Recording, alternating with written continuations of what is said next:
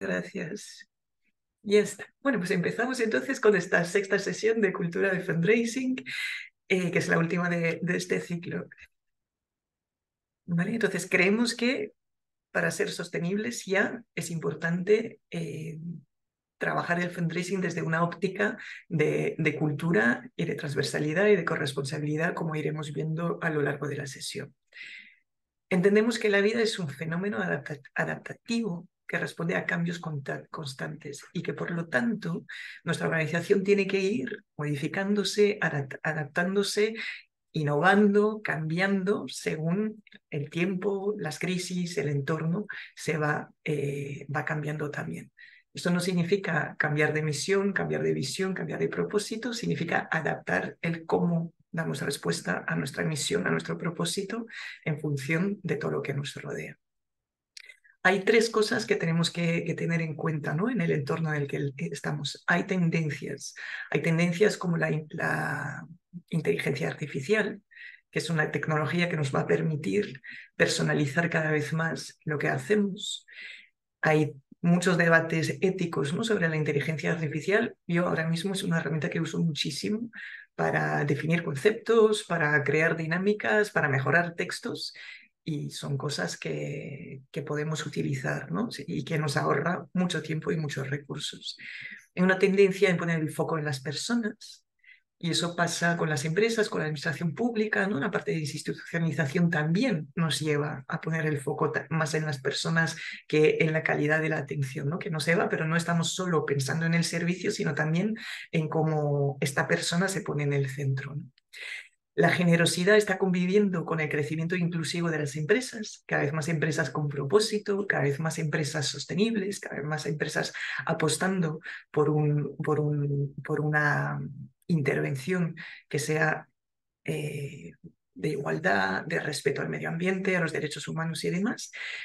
Y hay una tendencia de gestión del talento en el sector, que ahora mismo no es una gestión buena, una tendencia de que se nos olvida gestionar correctamente el talento en nuestro sector, se nos está yendo muchísima gente del sector porque está agotada, porque está cansada, porque está con burnout, porque está muy, bueno, pues eso, con, con muchísimas tareas, mucho trabajo, mucha presión, y tenemos que empezar a gestionar mejor este, este talento. Y hay comportamientos también el COVID que ha puesto la incertidumbre en el mapa, pero que también nos ha ayudado a volver a colocar al sector y la importancia de este sector en cómo dar respuestas a problemas comunes. ¿no? Em, donde hemos generado soluciones, donde hemos generado otro tipo de alianzas con empresas y, aquí yo creo que es un punto bueno para nuestro sector, ¿no? Decir, oye, aquí estamos y somos los, que, los y las que podemos dar respuestas a problemas, incluso cuando llegan emergencias como la del COVID. Hay una crisis de la donación, porque hay nuevas formas de implicarse, no queremos donar igual. La generosidad es innata, pero la filantropía se tiene que educar y el futuro de la filantropía no está asegurado. Y esto es algo que tenemos que tener en cuenta y es algo que nuestras organizaciones, nuestro sector, desde las plataformas, desde las coordinadoras, desde donde se, quiera o se pueda, tiene que trabajar para que se garantice el futuro de la filantropía. Filantropía entendida no solo con grandes donantes que donan un millón, también, también de estos pequeños donantes individuales que van donando cada mes cinco euros. ¿no? Y esto hace que el futuro de nuestras misiones no esté garantizado. Y el sector, frente a todo esto, a esta incertidumbre, a esta forma de, a este cambio en cómo donamos, a este cambio de, de, de, cómo nos vinculamos, cómo la sociedad se vincula y las empresas se vinculan con las organizaciones, hemos tenido una respuesta muy lenta, nos hemos apalancado en posiciones más tradicionales, más de transacción en vez de relaciones. Esto incluye toda la parte también de cuando tenemos una residencia, el cómo nos hemos apalancado en el concierto, en cómo, ¿no? según en algunas comunidades han ido reduciendo lo que nos daban por cada, por cada plaza y nos hemos quedado allí. O sea que, que hay un cambio necesario que no necesariamente hemos sabido hacer. Tenemos una versión a riesgo en general en este sector, arriesgar en cómo intervenimos, pero también en cómo invertimos en captación de fondos. y el rol de los fundraisers en todo esto ha sido también muy de, ojo, es que esto es cada vez más duro, esto no se puede, esto no sé qué, en vez de decir, bueno, pues aquí tenemos un reto y nos tenemos que, poner, ¿no? Entonces, frente a que efectivamente el sector supo responder, o muchas de las organizaciones, de forma muy positiva a la, crisis de, de la COVID, sí que hay como una cultura que todavía está haciendo que nos estemos quedando cada vez más atrás en la respuesta y en, y en enganchar con la sociedad y con las empresas. Entonces, lo que nosotros proponemos es, vamos a promover esta cultura de fundraising positiva, porque la tenemos, pero muchas veces es demasiado negativa, que pone el fundraising en el centro, pero no en el centro como todo va a girar ahí, sino que el fundraising es importantísimo para incrementar los fondos y hacer posible la misión. ¿no? Y el fundraising responde a nuestra misión, está al servicio de la misión, pero el fundraising solo no puede vivir. Necesitamos de todos y de todas. Entonces, cuando hablamos de cultura, ¿de qué hablamos? Cultura viene de colere, que es una palabra latín que significa cultivar, habitar.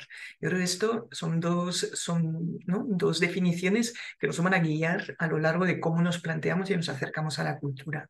Tenemos que cultivar la cultura y tenemos que habitarla. Tiene que ser nuestra, la tenemos que sentir en nuestra piel, en nuestro día a día. No, no necesariamente de forma consciente, porque, porque es un modo de vivir colectivo, ¿no? Tiene un impacto individual por un lado, pero también colectivo.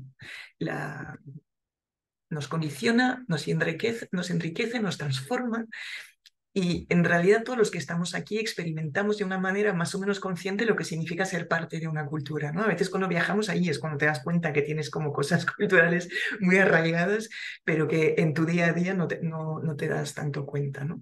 De hecho, la imagen que ponemos es obviamente el Quijote, que es parte de la cultura de este país y que conlleva un montón de referencias y de forma de hacer las cosas que tenemos en común las personas que habitamos este país hay cosas individuales que son distintas, pero en lo colectivo compartimos muchos rasgos. ¿no?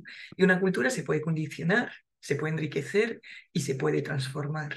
Pero para hacer todo esto es importante comprender su importancia y su alcance.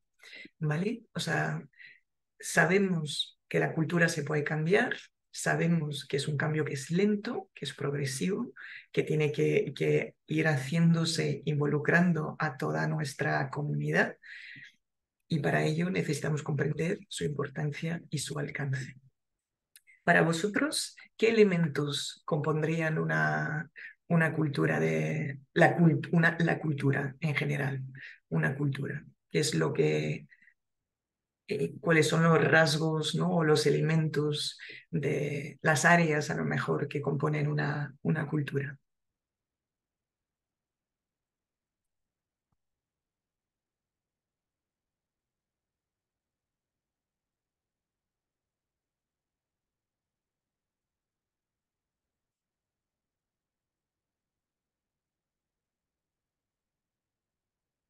Ay, perdón, he ido.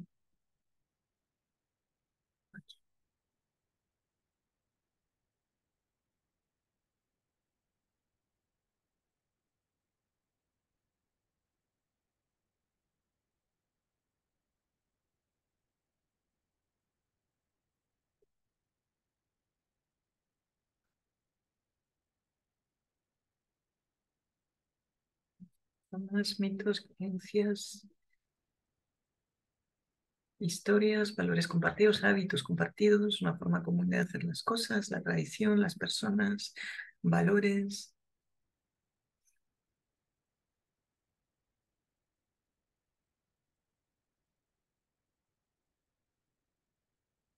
¿Algo más?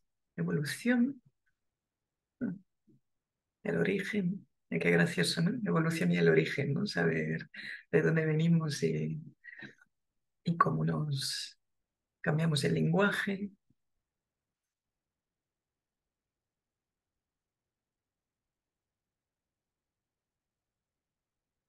Muy bien, pues efectivamente, creencias, tradiciones, intangible, sutil, ¿no? Estas, ¿no? Las creencias, las tradiciones, algo, es algo que envuelve todo lo cotidiano que influencia el cómo pensamos, cómo sentimos, ¿no? Y el lenguaje allí tiene mucho que ver, ¿no? Que es muy interesante el ver cómo según tu lenguaje está estructurado, tu lengua, ¿no? Está estructurada o tiene determinado vocabulario, eres capaz de pensar o de expresar unas cosas u otras, ¿no? Más emociones, más cosas racionales o no.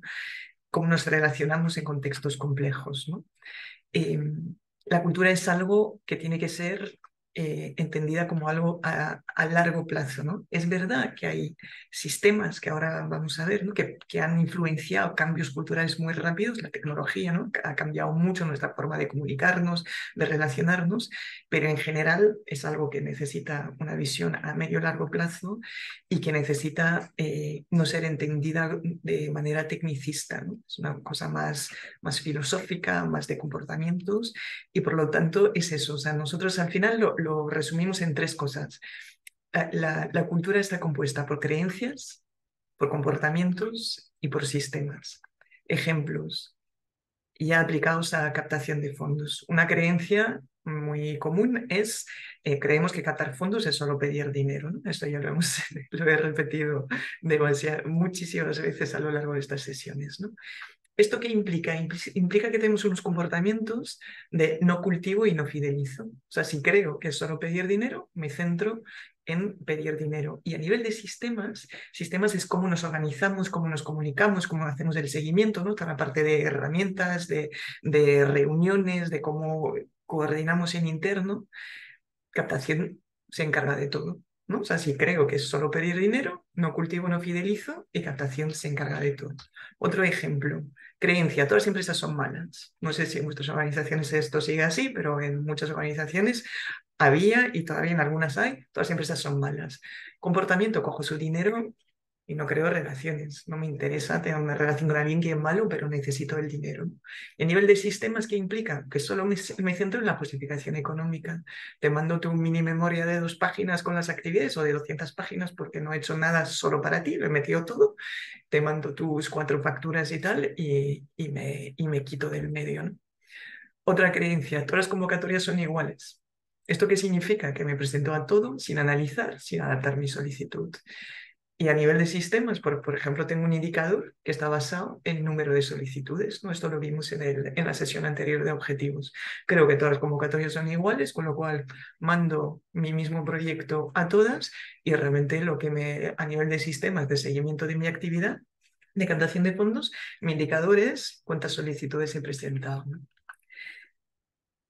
¿Vale? O sea, estos serían ejemplos de cómo una cultura está compuesta por creencias, por comportamientos y por sistemas, y cuando las creencias son negativas, genera unos comportamientos y unos sistemas, una forma de organizarnos, pues que no es óptima y que no está eh, enfocada hacia la sostenibilidad. ¿Ok? ¿Se puede cambiar la cultura organizacional? Se puede cambiar.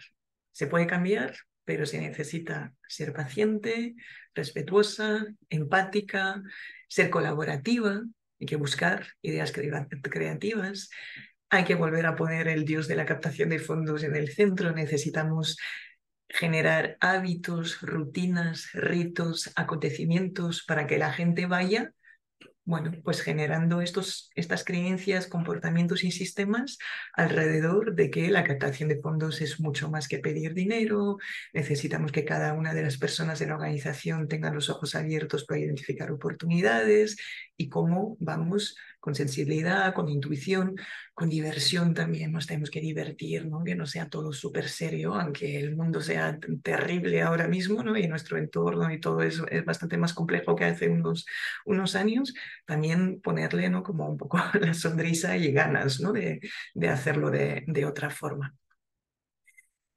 Esto sería cómo estamos antes de trabajar la cultura de fundraising de forma consciente, porque bueno, pues esto, aunque no, lo no seamos conscientes, esto es una cultura que ya tenemos. Una cultura con unas creencias, unos comportamientos y unos sistemas que no ayudan a irnos hacia esta cultura positiva. Y el después, ¿qué sería? Pues a nivel de creencias, captar fondos es crear relaciones de confianza. Y, por, y por, por, lo tanto, a nivel de comportamientos, lo que hago es dedicarle tiempo a conocer, conectar y cultivar mis potenciales donantes. Y en sistemas, pues captación es transversal. O sea, para cultivar una persona, a lo mejor mi presidenta se involucra. Para, para conocer a alguien, pues también viene la técnica de proyectos conmigo para contarle, o una beneficiaria, para contarle directamente al donante por qué es tan importante este proyecto. A nivel de creencias, existen empresas que están alineadas con mi propósito. Tengo un código ético, hay algunas que jamás van a formar parte de mis donantes, pero otras que sí podrían. ¿no?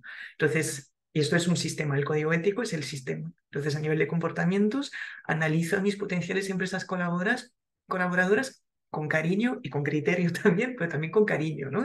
no son el mal, no son el enemigo, son personas dentro de las empresas con las que quiero ir generando relaciones estratégicas y estables.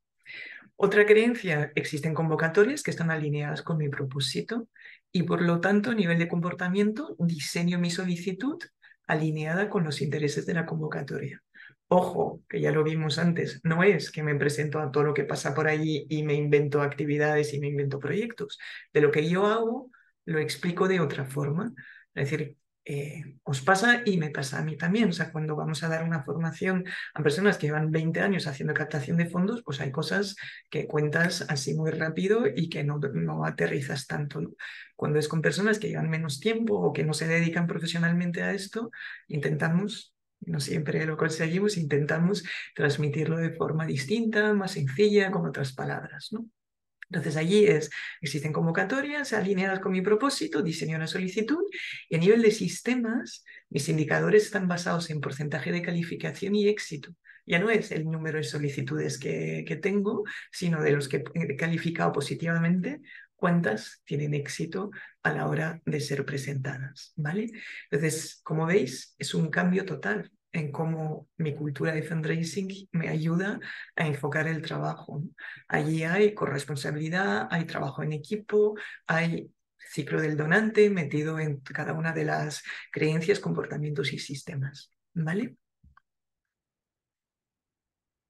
Entonces, lo, eh, está claro, ¿no? ¿Cómo sería cuando tenemos una cultura negativa que se centra en pedir dinero y cómo sería cuando ya hemos ampliado estas creencias, comportamientos y sistemas a entender que captar fondos es sobre todo establecer relaciones con, con, otras, con otras personas, ¿no? Ok, entonces, ¿qué significaría promover una cultura de fundraising positiva? Hemos dado mucho, muchas pistas en, esta primera, en esta primera parte.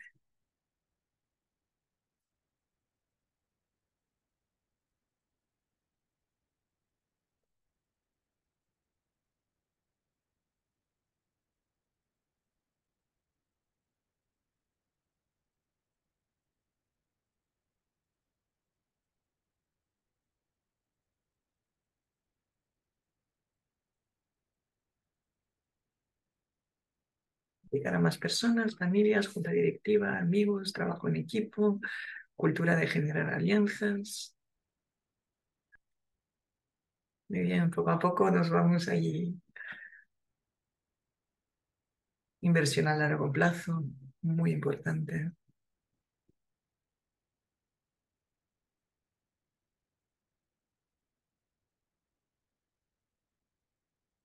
Formación a toda la organización y captación establecer una línea de trabajo fija en la entidad con un plan a medio y largo plazo, trabajo en red, cambiar la forma de enfocar la captación de fondos basada en las necesidades comunes de ambas partes, trabajar para que la gente se mentalice con el fundraising, mapa de alianzas, desarrollo de negocio, prospectar empresas que tengan que ver con tus proyectos. Muy bien. Bueno, al final sois buenos alumnos, ¿eh? Estáis muy atentos durante las sesiones. Genial. Pues significa efectivamente, ahí lo habéis dicho, ¿no? Trabajo en equipo, tal, corresponsabilidad. O sea, promover una cultura de fundraising significa que somos corresponsables de los resultados de la captación de fondos dentro de mi organización. Significa también de reconocimiento. Reconozco el papel que juega cada una de las personas, cada uno de los departamentos también desde lo suyo. O sea, quien está en finanzas tiene una parte ¿no? que hace que mi captación de fondos sea más o menos exitosa. Quien está en proyectos también, quien está en la junta también. O sea, reconocer el rol y el papel de cada una de las personas que hacen que esto sea más o menos exitoso. Y sostenibilidad. nos ayuda a tener esta visión a medio y largo plazo con la certeza de que vamos a conseguir los fondos que necesitamos porque estamos todos y todas implicadas en conseguir estos recursos. ¿no? Significa responsabilidad compartida integración y alineamiento con la misión, un foco en la captación de fondos como un compromiso, no es de, bueno, pues ahora sí, durante tres meses nos ponemos y luego ya nos retiramos y que queremos crear relaciones con los donantes que sean fuertes y duraderas. Por supuesto, no obligaremos a nadie a quedarse casado con nosotros, por suerte, por suerte existe el divorcio, ¿no? Ya, pero estamos con el objetivo de que sean relaciones fuertes y duraderas. Y ya si podemos añadir la palabra estratégicas, mejor todavía. que no siempre será así, pero es bueno. Significa pasar de tener programas, proyectos por un lado, comunicación y fundraising por otro, y junta o patronato y, y directoras, o sea, el comité de dirección, separados, a que en estas zonas donde nos juntemos podamos trabajar juntas. Entendemos que hay partes totalmente independientes, ¿no? donde cada uno va trabajando y diseñando planes, campañas, formas de intervención, actividades y tal, pero nos tenemos que encontrar, tenemos que encontrarnos en estas, en estas zonas sombreadas, ¿vale? Significa también que a través de nuestra cultura, a través, perdón, de nuestra cultura, vamos a promover valores, vamos a promover la inclusión, eh, parece mentira, pero muchas veces en nuestras organizaciones que tanto trabajamos ¿no? para la inclusión de las personas con las que trabajamos, se nos olvida mucho aplicar la inclusión en interno. ¿no? Entonces, inclusión en las decisiones que van a afectar luego la captación. O incluso si de repente decidimos hacer cosas en captación, ¿cómo va a afectar esto a proyectos? Y que hablemos con proyectos que sean decisiones tomadas de forma conjunta. Inclusión entendiendo que la misión es responsabilidad de todos y de todas. Vamos a trabajar también, a ver si me deja pasar esto, la transparencia. Transparencia no entendida solo hacia todo lo que ponemos en webs y memorias y tal hacia afuera, sino más transparencia interna, que contemos cómo trabajamos, cómo nos relacionamos, qué nos funciona, qué no nos funciona, qué se logra, cuánto cuesta según qué organizaciones, cuando de repente pues queremos hacer una campaña de tal, organizar un evento, la gente tiene mucha suspicacia, Uf, fíjate tú, aquí no tenemos ni para plastilina y estos están montándose no sé qué. También explicar todo eso para evitar las tensiones. Cuanto más transparentes seamos en cómo trabajamos, qué nos funciona, qué no, cuánto nos cuesta todo esto, más fácil será que la gente acepte y se vaya sumando al tren de la, de la captación de fondos. ¿vale? Otro valor que vamos a trabajar es el empoderamiento, tanto de las personas que nos dedicamos a captación de fondos, aunque no sea a tiempo completo ni como única gorra, pero también de las personas beneficiarias que pueden participar en acciones de captación, de todos, porque se inspiran, amplían conocimiento, eh, juegan un rol activo más allá de su puesto. O si a mi técnica de proyectos la voy ayudando, la voy formando en narrativa, en cómo ¿no? explicar de forma más impactante nuestra misión o su propio trabajo, la estoy empoderando porque le estoy dando nuevas herramientas ¿no? que puedan aplicar en su trabajo oficial, digamos, ¿no? el de técnica de proyectos, pero también en su vida personal, por supuesto, y luego clarísimamente en su rol de captación de fondos. ¿vale?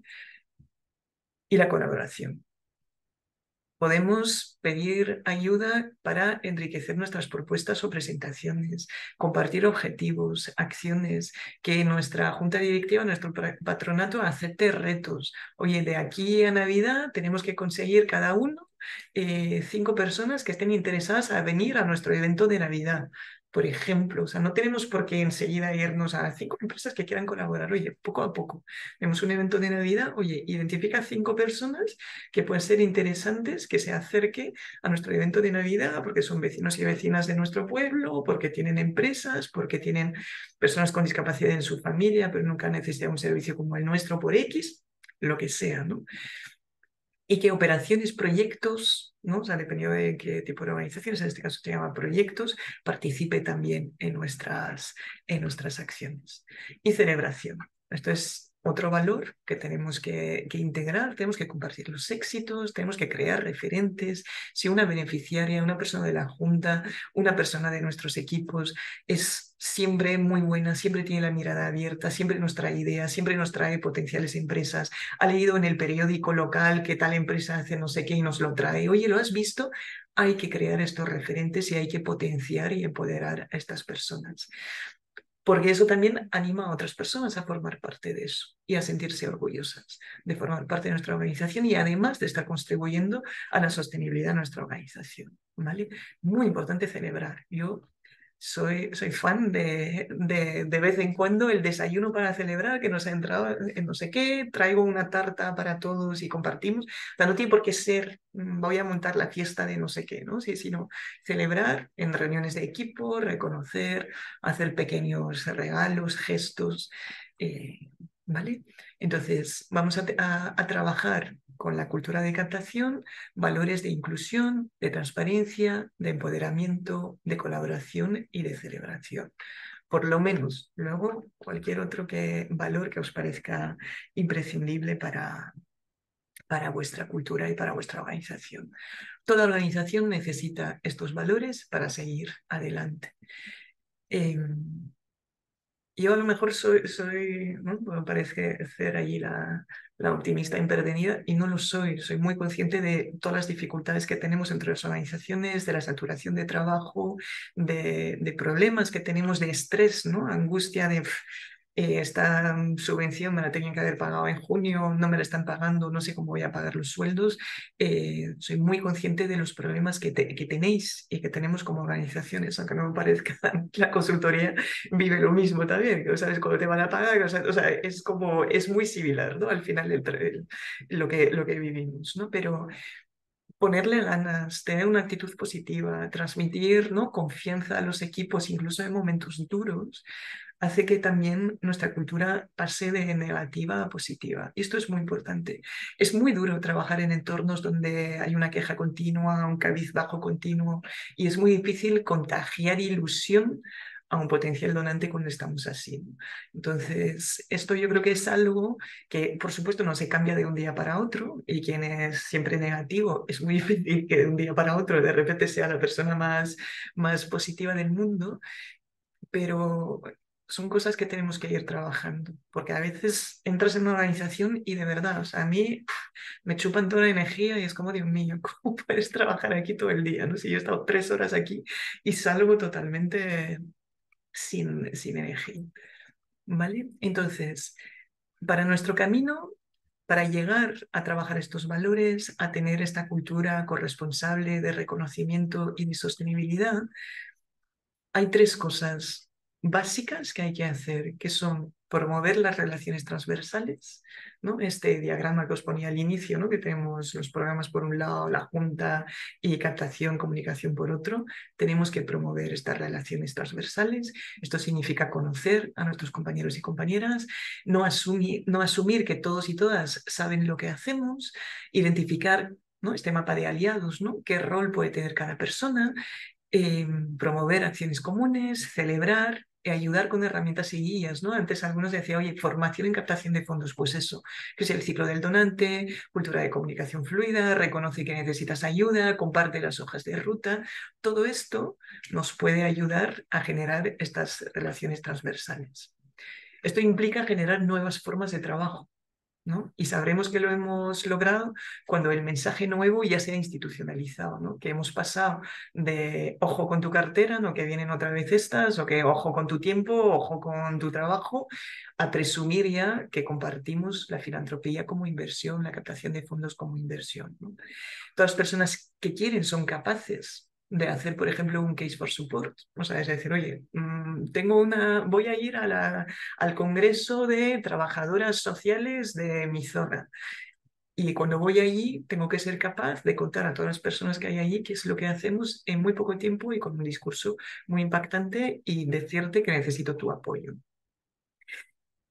y se genera esta forma de, de, nunca más se escucha, esa cosa es tuya, ¿no? O sea, ya no es una cosa individual. Y significa otra vez lo que vimos al inicio, recuperar este saber antiguo. El fuego lento, el ser colaborativo y el generar rutinas, ritos y acontecimientos. ¿no? Pero ¿cómo empiezo? O sea, ya está súper bien. Necesito generar el trabajo transversal, valores de inclusión, empoderamiento, no sé qué. Vanessa, eres súper guay, pero ¿cómo empiezo con esto? Que es muy complejo. ¿Cómo, cómo puedo hacer esto?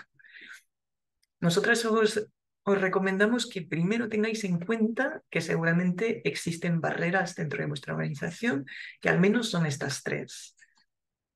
Puede que tengáis problemas o barreras en perfiles de liderazgo que no entienden la captación de fondos como algo de todos y de todas, que no entienden la captación de fondos como algo más que pedir dinero y que están como muy obsesionados con la intervención y la captación les molesta. O sea que hay perfiles de liderazgo que nos impiden poder generar esta cultura de, fundraising. Saturación de la plantilla, lo sabemos, llevamos muchas gorras, tenemos muy pocas horas, mucho trabajo y la gente está muy cansada y a veces es complicado pedirle algo más si no ve el por qué y te dice esto no es mío. ¿no? Y lo que veíamos, el ciclo del donante no es solo pedir dinero, pero sí hay esta barrera de decir, yo no quiero pedir dinero, esto no es para mí, esto no me vale. Estos son tres barreras que en principio solemos tener más o menos todos, ¿no? La saturación de la plantilla. Si alguna de vosotras no lo tiene, por favor que levante la mano y al final de la sesión nos cuenta cómo lo hacéis, porque es un tema que, es complicado. Ojalá ¿eh? alguno de vosotras no, no tenga esta saturación de la plantilla, pero en general, eh, bueno, pues sabemos cómo, cómo es este sector, ¿no? Perfiles de, liderazgo, puede que también, ¿no? sé si, queréis luego al final nos podéis contar un poquito cómo vais en esto, Y lo de pedir dinero. Vale, ¿por dónde empezaríais a trabajar una cultura positiva? ¿no? ¿Cuál sería el punto de partida? Dice, vale, pues ya vemos todo esto, sé que tengo que llegar a estos valores, a generar estos cambios, pero ¿por dónde, por dónde empezaríais?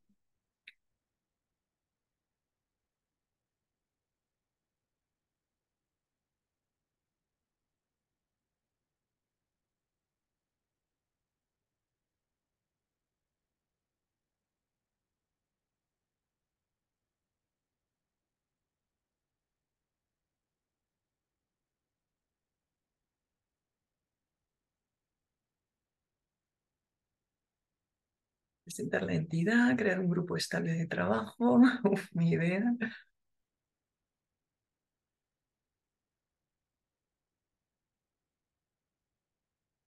definir estrategia para pedir dinero. Formación, sensibilización. Liberar a algún técnico para que se ocupe de ello formación, implicación de diferentes personas y planificar captación, reunir el equipo de captación, resumen de la formación, asignar tareas, repartiendo responsabilidades y haciendo el éxito compartido a todos, formación. Muy bien. Pues yo os diría que tenemos que dar un pasito antes de llegar a esto. Esto ya son soluciones que se pueden aplicar, pero nosotras creemos que tenéis que empezar identificando cuáles son los miedos internos cuáles son los miedos existentes en relación con la captación que impiden que exista una cultura positiva. Y claro, si va a hacer spoiler todavía. ¿Cuál creéis que es el mayor miedo en relación con la captación de fondos que hay en vuestra organización? Pensando en personas que no se dedican a ello, ¿vale? O sea, que no esté implicada en esto, proyectos, finanzas, o sea, personas que no estén involucradas en la captación de fondos en vuestra organización, que en función de cada una serán, serán distintos.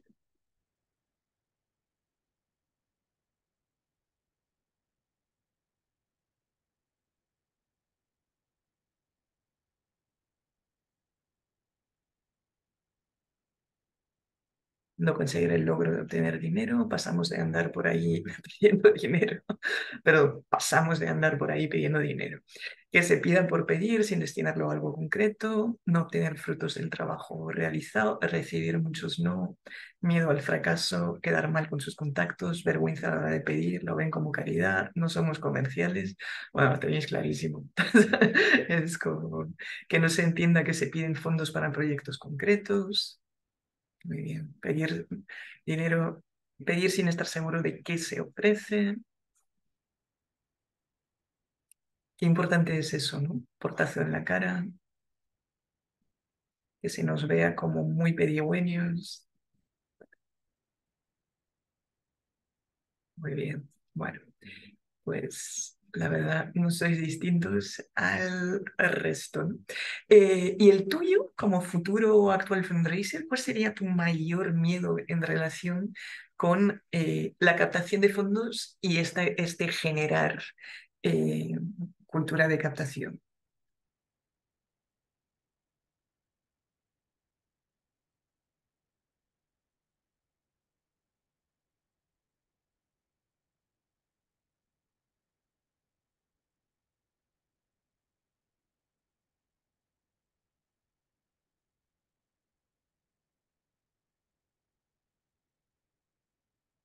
Emplear demasiado tiempo y obtener pocos resultados. Te den con la puerta en la cara también. Ahí yo tengo una frase que la gente siempre me dice, ahí yo siempre digo, el no ya lo tienes, ¿no? Es como, bueno, ya lo tengo. O sea, si pido y me dicen que no, pues ya está. O sea, tampoco y es verdad, o sea, el no tienes.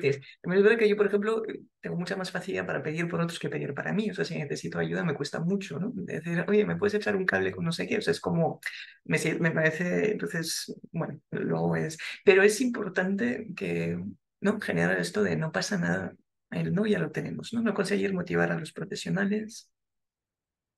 Vale. No tengo ni miedo ninguno. Soy comercial hace 25 años y pido o voy a pedir para gente que no puede pedir por sí mismo si necesitan. Muy bien, qué guay, no tengas ningún miedo. No me gusta pedir, estar en medio, ser la cara de entidad ante una empresa y que mi entidad no cuide la empresa. Vale, aquí hay un tema de reputación, ¿no? Muchas veces también es que soy yo la que pone la cara y si esto lo hacéis mal, al final se me vincula, ¿no? Porque al final como es crear relaciones, es verdad que esto es como, aunque sea para una organización, si yo soy la persona que está dando la cara, es complicado. Vale, llevamos dos años dando talleres sobre eh, cultura de fundraising e identificando los miedos y estos son los seis que más salen eh, en las organizaciones de cara a los miedos de otras personas que no se dedican a captación de fondos. El primero es no tenemos valor diferencial.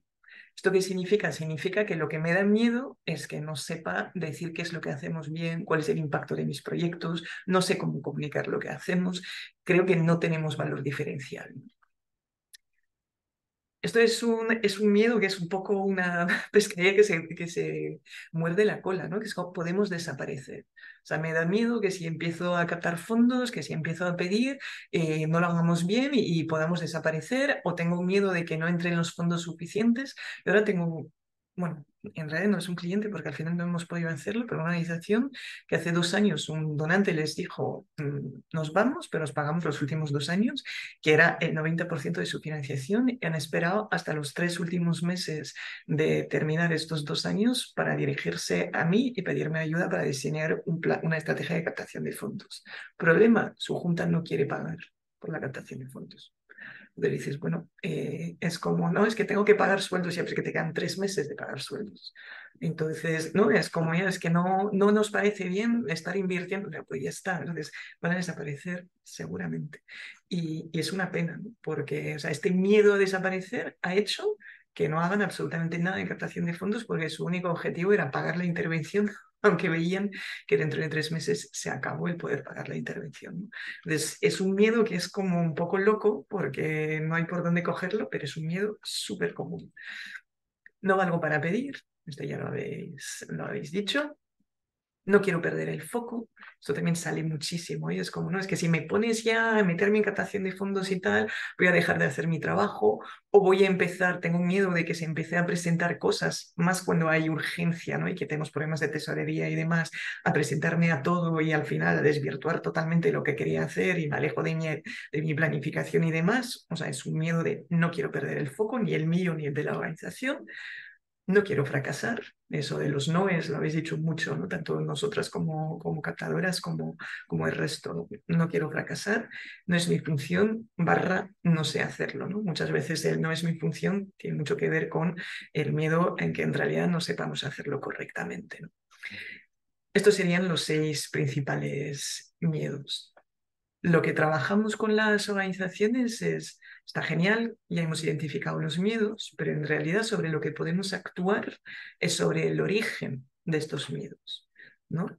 Y entonces es importante que sepamos de dónde viene este miedo. Por ejemplo, el no valgo para pedir, que podría ser un miedo muy típico en un patronato, una junta directiva, por ejemplo, ¿no? si lo asignamos a, a, a, una persona en concreto. ¿De dónde viene este miedo? Puede venir porque no conoce suficientemente los proyectos y entonces le da mucho corte ir allí, que le hagan preguntas cuando vaya a pedir y no ser capaz de contar lo que realmente hace nuestra organización. Se siente incómodo, ¿le habéis puesto alguna allí? Con pedir a sus contactos, ¿no? porque esto tiene mucho que ver luego con eh, un riesgo asociado a su propia imagen. Voy a involucrar, ¿no?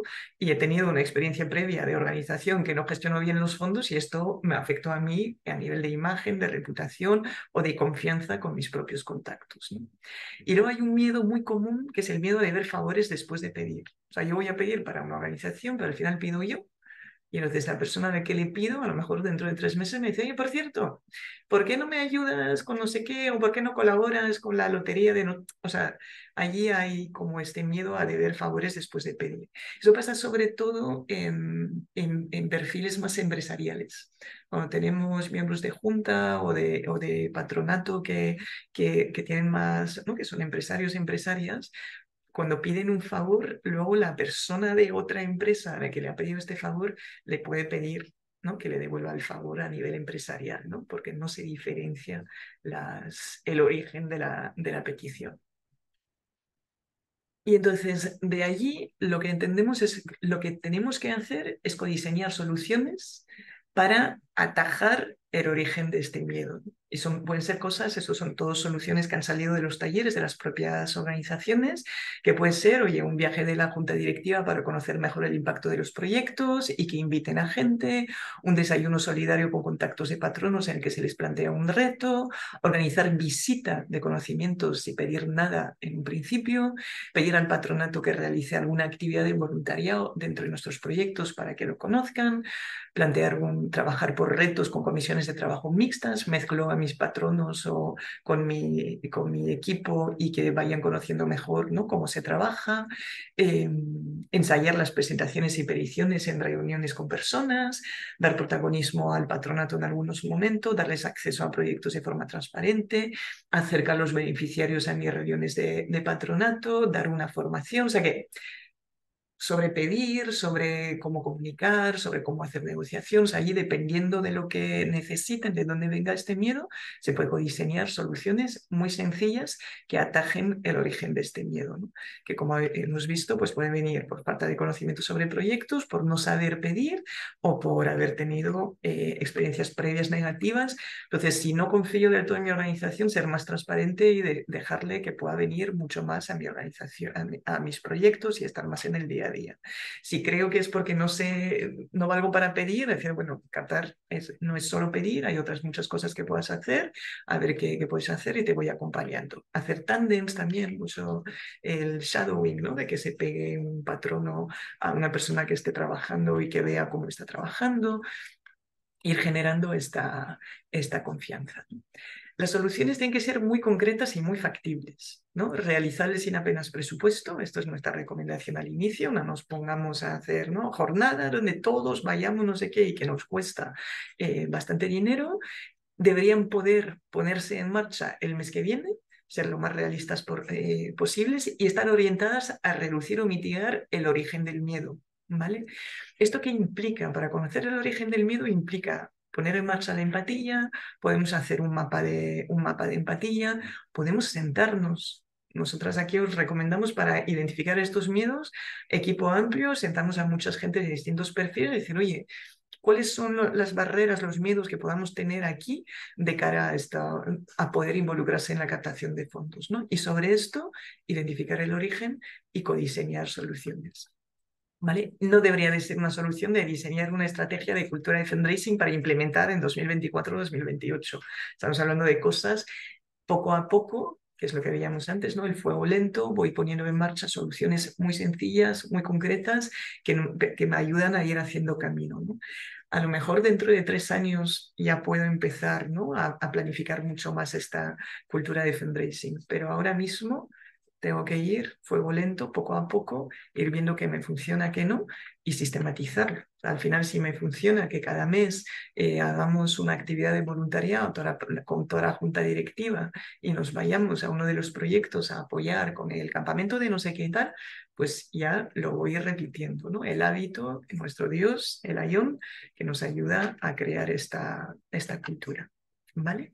Entonces, lo que os proponemos es eso, identificar miedos y barreras, profundizar en su origen y aplicar soluciones para desarrollar esta cultura de fundraising que haga sostenible nuestra organización. ¿Vale? Partiendo de los miedos identificados en equipo, buscaremos el origen de estos mismos miedos y codiseñaremos soluciones para reducir o atajar estos miedos. Y todo esto siempre con nuestros valores, nuestro propósito y misión, nuestra visión estratégica como, como guía, ¿no? como una parte, o sea, no es que de repente me voy a inventar cosas ¿no? que, que estén totalmente alejadas de mis valores, de mi propósito, de mi visión, de mi misión y de mi visión estratégica, ¿vale? ¿Todo bien? ¿Hasta ahora? Vale. ¿Queréis comentar algo? Tenemos cinco minutitos. ¿Os hace sentido trabajar esto? ¿Os parece que no, no encaja en vuestras organizaciones? ¿Cómo lo veis?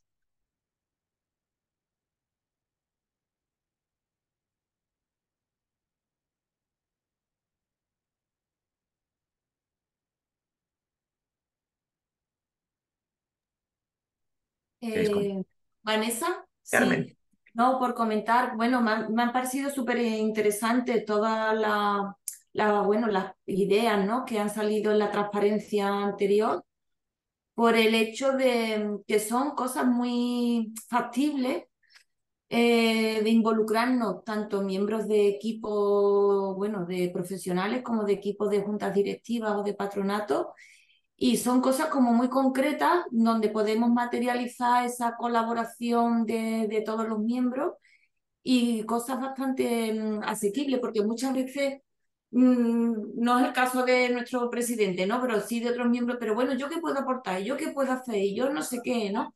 El no saber o no... Están dispuestos, pero les faltan a lo mejor pequeñas cosas donde lo puedan materializar. Hmm. Eso es importante, sí he visto que hay cositas muy sencillas que, que, cada uno diga, ah, pues esto lo puedo hacer yo, pues esto lo puedo hacer yo, ¿no? Mm. Y, y, cada, y es una forma de que también todos entremos en esa cultura de la que estamos hablando hoy, porque todo el mundo puede aportar y todo el mundo puede eh, hacer algo, ¿no? Por, por sumar un poco en esta, en esta movida, ¿no? Efectivamente, sí, sí, muchas gracias, Carmen. yo creo que esto es lo más importante. Tenemos que pensar en cosas muy sencillas, muy realistas y además, yo lo he vivido en casi todas las organizaciones donde he trabajado. Siempre decimos, es que la Junta no hace nada. Bueno, es que eso de decir, si tenéis algún contacto, pasármelo, no, no es eficiente, porque además las personas de nuestras juntas o patronatos tienen otras muchísimas más cosas que hacer. O sea, son voluntarias y voluntarios. No tienen 40 horas de trabajo a la semana para poder dedicarle a nuestra organización. Algunos sí, ¿no? Si tenemos alguna persona jubilada, alguna amo o ama de casa, pues bueno, pues sí, ¿no? Pero no, suele ser lo, lo común. Entonces es muy importante al final, eh, por ejemplo, una de las ideas era como hago como apadrinamientos, o sea, cada persona de mi junta tiene una persona de referencia dentro de mi organización y es quien junto con ella van, incluso si no es, o sea, y mejor de hecho, si es una persona de proyectos con una persona de junta, que tienen sí o sí de aquí a tres meses que traernos dos ideas para mejorar la captación de fondos en TAR o identificar contactos para poder ir a visitarlos y presentarles el proyecto, pero que lo tengan que hacer y tengan un objetivo muy concreto. Yo, por ejemplo, tenía un, un presidente en una fundación que tenía, estaba en consejos de administración, pero no sé, en todos, tenía contactos en todas las empresas. Era incapaz de decirme. Y yo le decía, oye, ¿con quién nos podemos sentar? Uf, no sé. Entonces nos dedicamos durante dos semanas a analizar todos los consejos de administración en los que estaba él, en mirar qué empresas podrían estar alineadas con nuestra misión y pueden ser interesantes y decirle, oye, ¿me puedes poner en contacto con Carmen de la Raíz? Porque creo que le puede interesar. Ah, sí, sí, claro. Entonces, fíjate tú, que tú piensas, dices, ah, un tipo con contactos por todas partes. O sea, había que ir detrás porque era incapaz él de pensar en quién podía ser interesante para la fundación. Entonces ahí también nuestro rol es acompañar muchísimo y ayudar en dar estos pasitos, ¿no? O sea, como dices, en poner como cosas muy claras, muy específicas, con un objetivo, con un reto, con algo muy concreto que permite, pues, ir viendo que las cosas avanzan también, ¿no? A ver, si cada tres meses que te ves y dices, no, a ver si alguien me identifica una empresa, no lo vamos a conseguir. ¿Alguien más que quiera compartir algo? Rafael. Sí, hola, eh, buenos días. Eh, yo soy el que he puesto antes lo del tema de que no tengo ningún miedo porque, porque tengo 25 años de experiencia comercial y me he venido aquí pues por vocación. Pues soy hermano mayor de una persona con síndrome de Down aquí en Apama y me gustaría aportaros una cosa que me ha funcionado mucho durante toda mi vida como comercial y es cuando se consigue un contacto, ya venga de la junta directiva, del patronato, de cualquier, de una acción propia proactiva de, de, la, de la fundación, eh, siempre terminar la reunión pidiendo a ese contacto que te ha recibido que te dé tres contactos más, porque tú ya le has contado tus proyectos, tú ya le has contado quiénes eres, quién eres, misión, lo que necesitas, etcétera, etcétera, y a lo mejor él, en ese momento, él o ella, no puede darte fondos, no está en, tu empresa no está en un buen momento o pasa por un momento personal en el que no está alineado con, con esto, entonces, lo que siempre, siempre sale bien, o al menos bajo mi experiencia, es decirle, ok, tú hoy no, te vengo a ver si me permites dentro de un año, pero dame tres contactos. Porfa, échame una mano, ya que tú no puedes ahora, échame una mano y ponme en contacto con tres personas de tu red que crean que, crees, que tú creas y conozcas, eh, que me puedan ayudar. Y me permites que les llame yendo de tu parte. Y eso ya te, te abre la puerta a otras tres puertas más y esas tres a otras nueve y esas nueve a veintisiete y bueno, es, es el networking, que son principios básicos del networking. Totalmente. Muchísimas gracias, Rafael. O sea, yo diría, sí, eh, cuidado con, o sea, eh, también depende del feeling que hayas tenido en la reunión. O sea, si ves que el tipo está totalmente cerrado y en realidad no le interesa y tal, bueno, pues yo allí no, no pediría mucho más, ¿no? Pero totalmente, totalmente. O sea, esto es una cosa de, o incluso con vuestros actuales donantes de confianza, ¿no? decir, oye, Estamos intentando ampliar nuestra red y tal. ¿Podrías ponerme en contacto con otras empresas, ¿no? Con tres, con... es verdad que lo del número también es interesante, ¿no? O sea, con tres. Ponme en contacto con tres, con cuatro, con dos, con lo que os sintáis cómodos, ¿no? Pero sí, sí, es un gran, es un gran consejo. ¿Alguien más? Vale, pues seguimos entonces. Vale. Diez ideas para empezar a trabajar la cultura de fundraising. Aprovechar toda reunión de equipo, junta o demás órganos de gobierno para compartir información, agenda de próximos eventos, cualquier curiosidad eh, relacionada con captación de fondos. Captación de fondos tiene que estar en todas las reuniones, en todos los encuentros internos y siempre, siempre, siempre tenemos que eh, contarlo. No puede ser que en una reunión de equipo captación de fondos no tenga, un, no tenga un hueco, aunque no tengamos un área concreta de captación de fondos. si lo lleva dirección, pues que dirección lo hable, si lo lleva siempre, siempre, siempre. ¿Para qué? Para reforzar esta cultura de fundraising, para que también vean que es difícil, para que también vean que ellos tienen un rol, ¿vale? Dos, pide ayuda invita de manera regular y establecida a las personas de programas a enriquecer las propuestas de fundraising con sus motivaciones y experiencias inspiradoras.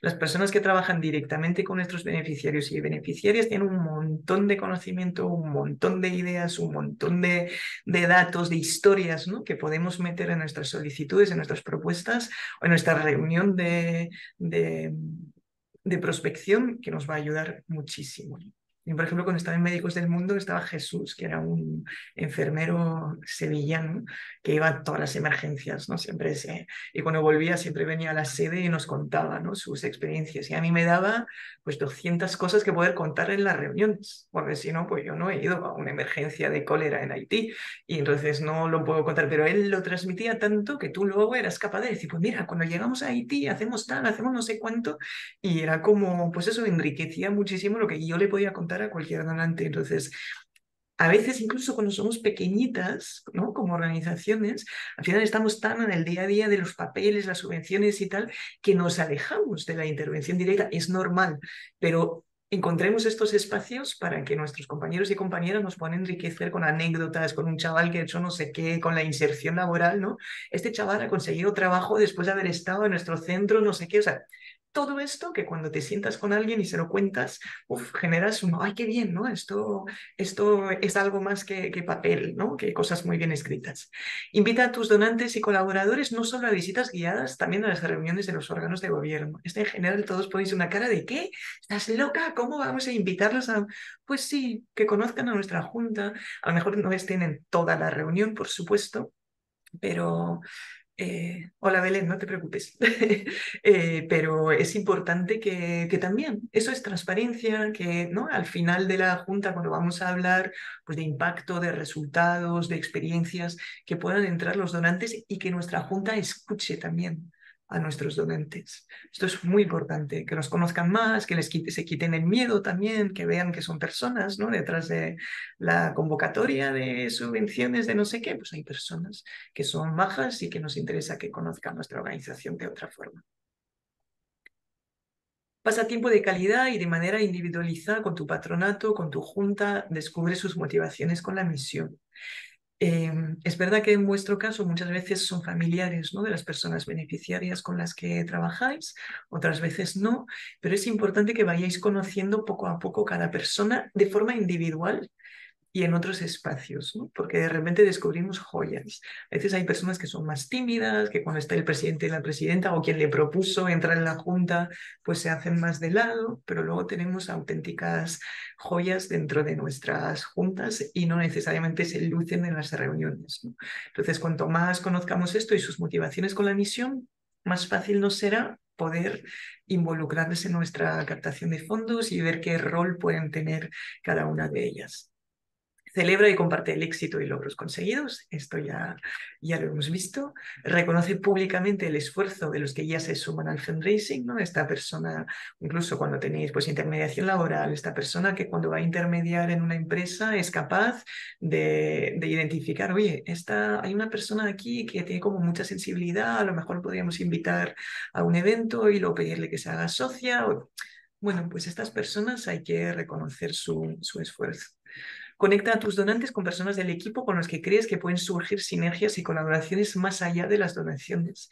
Si tengo un donante que es un crack en comunicación y tengo una persona de comunicación dentro de mi organización o un voluntario o voluntaria que es un loco de las redes, de la inteligencia artificial, de lo que sea, puede ser muy interesante conectarlas para compartir sobre la, la misión, pero también para que vayan desarrollando otra relación y de ahí suelen surgir proyectos muy chulos, pues ahí de comunicación una nueva campaña, un no sé qué, porque al final cuando, cuando generas relaciones personales con intereses comunes, se puede ir conseguir muchísimas más cosas. Sesgos fuera, la persona que menos te imaginas puede ser tu aliada en promover la cultura del fundraising.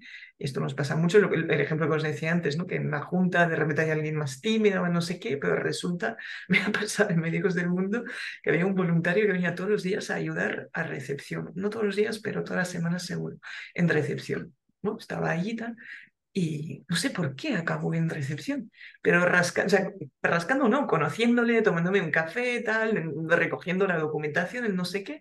Bueno, Juan, ¿tú a qué te por qué estás ahí? No, me he jubilado. Pues si eres muy joven, sí, bueno, vengo de la banca, tal, no sé qué.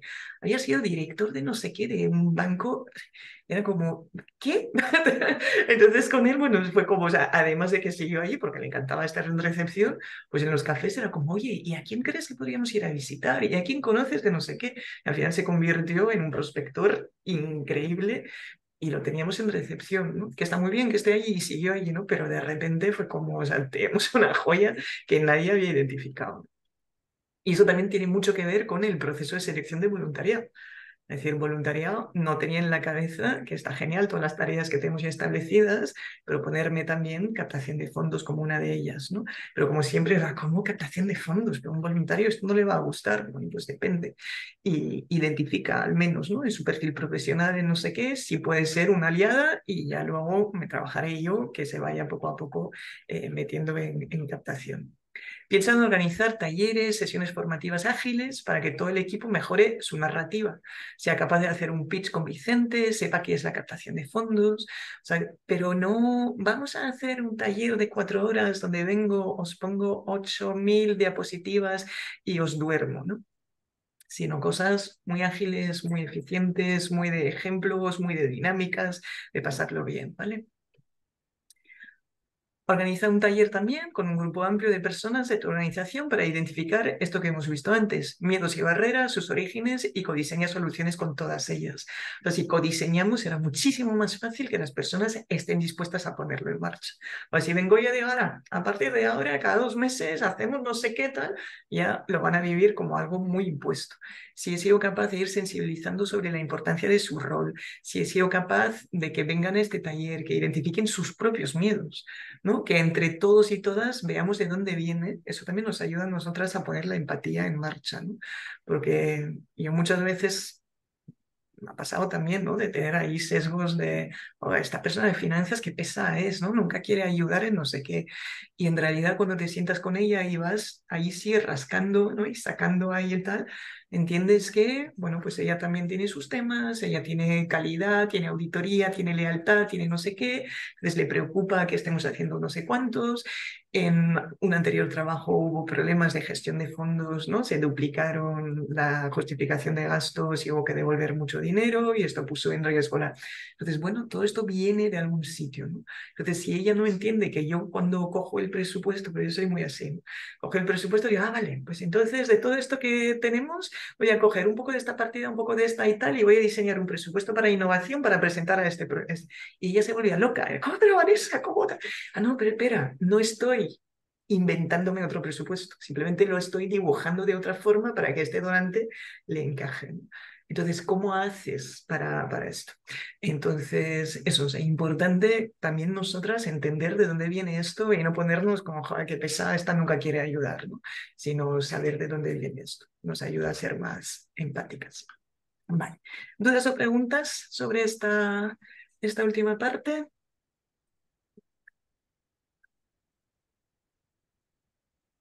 ¿Estamos bien? Tenemos hasta las once y media, ¿verdad? Sí, genial. Pues, pues entonces sigo.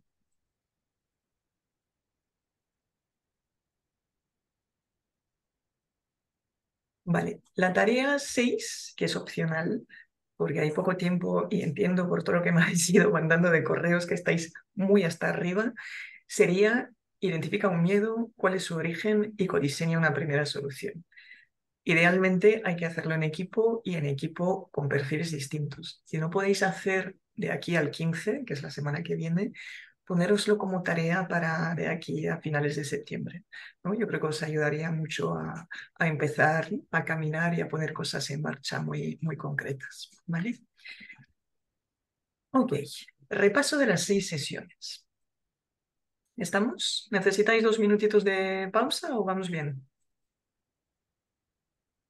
¿Vamos bien? Genial, gracias. Ok, la primera sesión vimos el contexto.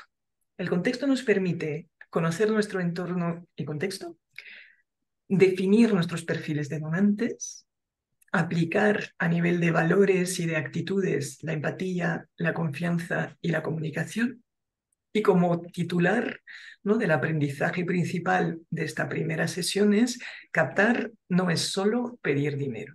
¿no? Entonces, eh, para mí, empatía, confianza y comunicación, toda esta parte de saber de dónde venimos, eh, qué nos ha funcionado, qué no, cuál ha sido la evolución de nuestros donantes, con qué tipo de donantes hemos estado trabajando, cuáles son nuestras debilidades, amenazas, fortalezas, oportunidades, toda esta parte es muy importante, ¿no? Y definir nuestros perfiles de donantes. Maximizar, mezclado, fíjate tú, Ahí sí que conocer qué funcionó en el pasado y ahora. Preguntar a nuestros donantes. Esto es muy importante. No se nos olvide preguntar a nuestros donantes qué tal están, qué les parece lo que estamos haciendo, si tienen ganas de hacer más, de hacer menos, de involucrarse, si nos pueden poner en contacto con otras empresas. preguntar si les gusta cómo rendimos cuentas, si les gustaría eh, que nos comunicásemos más por WhatsApp o por email o por llamada o por reuniones periódicas, preguntar, preguntar, e intentar poner en marcha lo que nos piden y si no lo podemos hacer, decirles, oye, mira, me encantaría poder ¿no? tener esta red, no sé qué, pero ahora mismo no tenemos porque no tenemos los recursos suficientes. Puede ser una buena oportunidad para pedirles más, que nos ayuden para tener los recursos suficientes para poder marchar estas cosas. Escucha lo que nos dicen, replicar lo que nos ha funcionado y mejorar lo que nos funciona o lo que, no nos funcionó, pero queremos seguir intentándolo, ¿vale? Y mantra, fidelizar es más barato que captar nuevos donantes. Si ya tengo a alguien, me sale muchísimo más barato ir a ver a esta persona, a esta empresa y pedirle que aumente o que se mantenga que eh, volver a empezar desde cero a encontrar estas nuevas empresas, esta nueva administración y estas nuevas personas, ¿vale? Súper importante esto, se nos olvida mucho y cuando hacemos el, lo vimos ¿no? en la parte de objetivos, cuando hacemos el análisis de la evolución de nuestra captación de fondos, nos solemos hacer, ah, pues mira, en 2022, 2023, 2000, no, todavía no estamos en 2024, 2020, 21, 22, ha subido mi presupuesto así, ¿no? Pero si empiezo a poner los que entraron el año pasado, hace dos años, hace tres, demasiadas veces vemos que los de hace tres años se nos han caído casi todos, de hace dos el 50% y del año pasado, bueno, de momento se mantiene, pero también se nos está cayendo. Entonces, está genial que, que suba mi presupuesto, pero estoy perdiendo demasiada gente en el camino. Muy importante analizar bien esto, ¿vale? La tercera sesión fue de narrativa. ¿Y esto que nos implica? Nos implica conocer bien nuestra audiencia y está muy conectado con definir nuestros perfiles de donantes, ¿no? Y saber qué funcionó en el pasado y, ahora, o sea, conocer bien nuestra audiencia, elaborar una narrativa sencilla, y esto es otro ejercicio que os, que os diría que, que sigáis trabajando, ¿no? Intentar ir a lo más sencillo posible de mi mensaje. Complicamos mucho, utilizamos mucha jerga, eh, queremos contar demasiadas cosas, hay que poner foco y apostar por este foco nuestra narrativa tiene que ser siempre una unión, una compenetración de datos y emoción. No puedo decir, ha aumentado mucho el número de beneficiarias. Bueno, ¿cuántas? ¿No? Hemos aumentado un 50% el número de beneficiarias y ahora tenemos a 200 mujeres felices de estar no sé qué. O sea, mezclemos esta, esto, datos y emoción y adaptarnos a cada audiencia. No os digo de hacer un mensaje ¿no? totalmente personalizado para cada una de las empresas, de las personas, de la junta, de tal, de las familias y demás, pero sí afinarnos. La empresa le va a, interesar más saber cuál es el impacto, o sea, dependiendo de las empresas, pero a lo mejor cuál es el impacto de su donación, cómo se puede involucrar a su, puede involucrar a sus empleados y, y cuál es nuestra visión a largo plazo. A las familias va a poder interesar más, ¿no? De cómo estamos planteando la desinstitucionalización, cómo va a afectar esto a sus familiares y cómo puede colaborar económicamente también. No se nos olvide nunca esta parte. ¿Vale? Las familias pueden colaborar también, ¿vale? Entonces, conocer nuestra audiencia, elaborar una narrativa sencilla, datos y emoción y adaptarnos a cada, cada audiencia. Luego en la cuarta sesión vimos nuestra hoja de ruta para eh, diseñar nuestra estrategia. Aquí el aprendizaje, el consejo es codiseñar en equipo amplio la estrategia, siempre con un valor de corresponsabilidad la captación de fondos, diseñar estrategia no es solo de las personas que están directamente implicadas en captación y hay que incluir a todo el ciclo del donante. Mi estrategia no es solo necesito 200.000 euros de empresas, 300.000 de no sé qué, sino es también cómo, cómo incluyo todo el ciclo del donante. Acordaros, el ciclo del donante es identifico, califico, cultivo, pido, fidelizo, involucro y vuelvo a empezar. ¿Vale? Que si os cuesta acordaros de esto, más o menos es como cuando conocéis a alguien para salir con él o con ella. ¿vale? Conozco a alguien, voy viendo, me gusta, no me gusta, sí, me gusta, voy cultivando, a ver qué tal, no sé qué, en algún momento le digo, ay, empezamos a salir, pues empezamos a salir, voy fidelizando y en algún momento le involucro casándome, viviendo, viajando, teniendo hijos, lo que nos da de lo que es para nosotras involucrar, ¿vale? La quinta sesión fue eh, cómo definir objetivos que vayan más allá del, del dinero. Tenemos que crear hábitos y comportamientos. Nuestro valor es motivar, necesitamos motivar y cuidar de las personas. ¿No? Como os decía antes, cuidamos mucho de nuestros beneficiarios, beneficiarias, a veces también de nuestra junta y patronato, no siempre, pero a veces sí, pero de nuestros equipos cuidamos poquísimo. Voluntarios, voluntarias, profesionales, solemos cuidar poco. Y esto, ¿no? La política de los cuidados tiene que estar en el centro de, todo esto, más si vamos a involucrarles en temas de captación de fondos con estos miedos iniciales. Y cuidar significa reconocer, celebrar y poner objetivos conjuntos y que el fracaso no sea solo de una persona o un área y los éxitos no sean solo de un, de un área o, o persona. ¿vale? Y la sexta, que es, que es la de hoy, cultura, el objetivo es generar esta cultura positiva, creando espacios perdón, de codiseño y co-creación. Nuestro valor es la transversalidad de la captación. La captación de fondos no es una cosa que está en una cajeta y que no sale de ella, sino que tiene que formar parte de toda la organización para ayudarnos a caminar hacia la sostenibilidad. ¿Vale? Entonces, esto sería, ¿no? Contexto, maximizar, narrativa, estrategia, objetivos y cultura. Hemos pasado de captar no solo es pedir dinero, pensando en que fidelizar es más barato que prospectar, que nos tenemos que adaptar a cada una de nuestras audiencias, incluyendo todo el ciclo del donante, cuidando de nuestras personas para poder caminar hacia la sostenibilidad. Este recorrido que a lo mejor no se hacía tanto sentido cuando visteis las, las sesiones, sí lo tiene. Necesitamos empezar por conocer bien nuestro entorno contexto, qué nos ha funcionado, qué, qué, qué, amenazas, qué, qué oportunidades tenemos y ya poco a poco conocer nuestra audiencia, diseñar nuestra hoja de ruta, contar con objetivos que van más allá del dinero y generar esta cultura positiva, que nos ayuda a todo lo demás, en realidad. O sea, esta cultura nos ayuda a conocer mejor nuestra audiencia, nos ayuda a contar con una hoja de ruta realista, nos ayuda a integrar el ciclo del donante en cada una de las fases de mi diseño, de estrategia y de cultura. ¿Sí? Y por supuesto, esto ya si queréis, ay, solicitar está por detrás, no lo... Le falta, siempre me pasa eso, que alguna vez me falta un cuadrito. Bueno, eh, nuestro mantra es este, nuestro ciclo del donante. Identifico, califico, cultivo, solicito, fidelizo, involucro y lo vuelvo a hacer.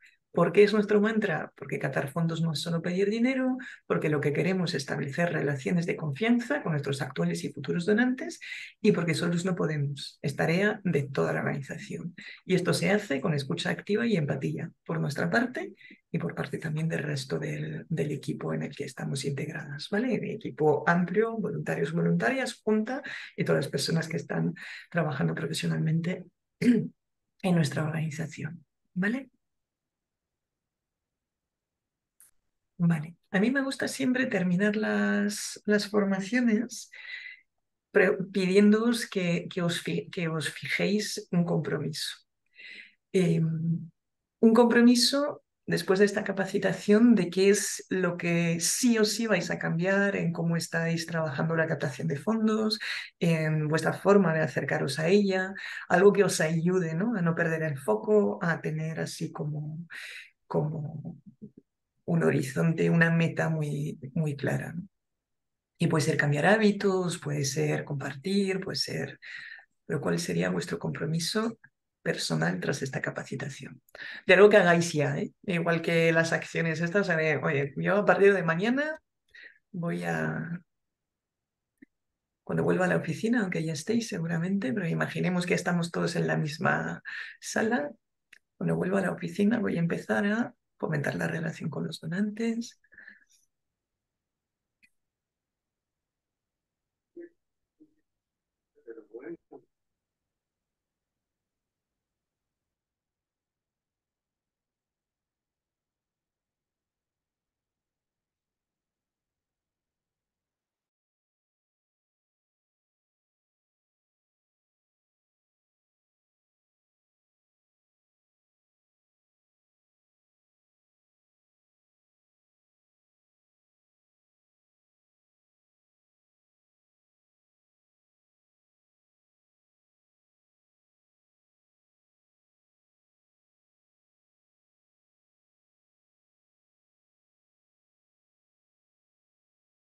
Algunos tenéis compromisos, contar con espacio, un tiempo, un equipo, un plan asumible, pequeños retos, involucrar a muchos, eso es un compromiso grande. ¿eh? Plan de trabajo para ello, continuar dedicando tiempo a captación, llegar al 100% de la tarea 4 y desde allí volcarme en la captación con conocimiento de Quest. Recuérdame la tarea 4, ¿cuál era? ¿El checklist? Sí, ¿no? Sí. Perdón, ¿eh? es que a veces mi memoria me parezco cada vez más a Dory, según va pasando el tiempo. Tengo memoria, se me va. Compartir más esta función con el resto del equipo, involucrarles, trasladarles esto como algo tedioso. Vale. Muy bien. Pues en, en formaciones presenciales este compromiso os suelo pedir que lo pongáis en una postal que luego os mando por correo para que os llegue esta postal, o sea, os mandáis una postal a vosotros mismos, para que dentro de cinco días, cuando hayáis terminado esta capacitación, os si llegue un recordatorio. Entonces os diría crearos un recordatorio de aquí a cinco días. Acuérdate del compromiso que te marcaste, ponerlo ¿no? como una tarea que os, que os salte, porque por desgracia, pues a veces cuando terminamos eh, las formaciones salimos muy chutados y luego volvemos al día a día y se nos va un poquito. ¿no? Eh, hábito, tiempo, semana dedicado a captación, las situaciones diarias tengan que estar siempre. Esto es súper importante, o sea, yo creo que os lo he dicho, yo por ejemplo hay, los jueves intento, los jueves por la mañana no tener absolutamente nada, ni una reunión ni nada específico que, que hacer para poder justamente dedicarme a, pues eso, a leer otras cosas, a, a, repasar unos vídeos de unas formaciones que me hayan gustado, a pensar en innovar, en crear otras cosas, en, a veces pasear para, oye, tengo una formación o tengo que mandar una propuesta a esta empresa y no sé muy bien cómo enfocarla, pues ir a dar un paseo a ver si se me ocurre algo. Entonces, intentar reservar estos, estos tiempos es muy, muy importante. Vale, muy bien. Ok, entonces, pues hemos terminado esta capacitación. Ahora vamos a entrar en, en la, siguiente fase y si queréis luego tendremos un ratito de, de micro abierto. Como sabéis, hay tutorías, ¿vale? Hay tutorías de 90 minutos que cada organización puede solicitar y lo tienen que solicitar, bueno, se explicó cada uno de los pasos. Deberíais de haber ya cumplimentado la ficha de plena inclusión en datos, eso es lo que me ha dicho Pedro, yo no sé lo que es, pero eso es lo que es si no se le preguntáis, y realizado el autodiagnóstico. ¿vale? Esto es el primer paso que si no lo habéis hecho, eh, tenéis que hacerlo. Tenéis que subir las tareas antes del 12 de julio a la carpeta que ya tenéis compartida y tenéis que mandar, oye, pero esto, ¿qué man está? Un correo. Perdón, Vale.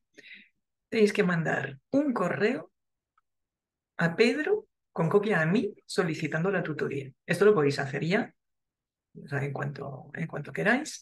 Eh, y a partir del 12 de julio, pues os diremos, si habéis cumplido con lo de la ficha y las tareas subidas, podéis solicitar la tutoría.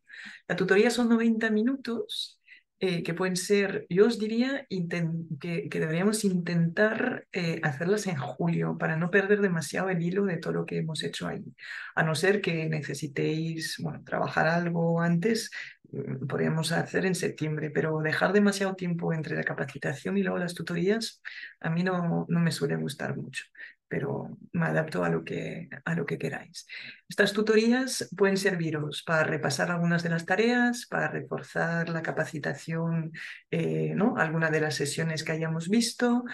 Incluso si queréis que venga, o sea, como no hay una cosa muy concreta, ¿no? En cuanto si queréis que venga gente de la Junta para hablar de, oye, Vanessa, ¿podríamos hacer la sesión 1 con la, con la gente de nuestra Junta? Pues también lo, lo, puedo hacer. O sea, ahí vosotros ir pensando, yo creo que en este, en este correo, primero decirnos, ¿no? A Pedro y a mí, oye, nos interesa, y luego ya hablamos simplemente nosotras, ¿no? La organización y, yo, para ir definiendo el objetivo de esta tutoría y cómo la vamos a, enfocar, ¿no? Entonces, eso, repaso de tareas, repaso de sesiones, o aprovechar para hacer este primer paso que muchos habéis puesto de, oye, empezar a compartir un poquito esto de, de la cultura de captación de fondos un caso muy concreto. Si tenéis, oye, tengo este donante, estoy atascada, no sé por dónde cogerlo. Esta empresa, ¿cómo la analizaríais? ¿Cómo harías, o sea, lo que, lo que vosotros veáis de todo lo que hemos ido viendo a lo largo de las sesiones? ¿Sí?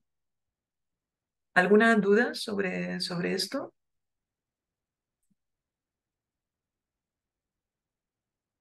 ¿Queda claro? Vale. Ok. Entonces, si vais a solicitar la tutoría, dejarme el nombre aquí, al menos también para que a Pedro le diga cómo, cómo vamos con esto.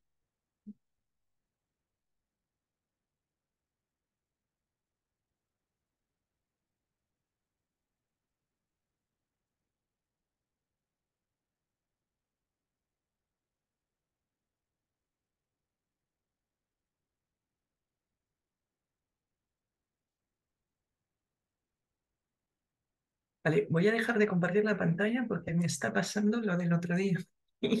y hoy sí que no tengo ninguna otra pantalla en la que engancharme.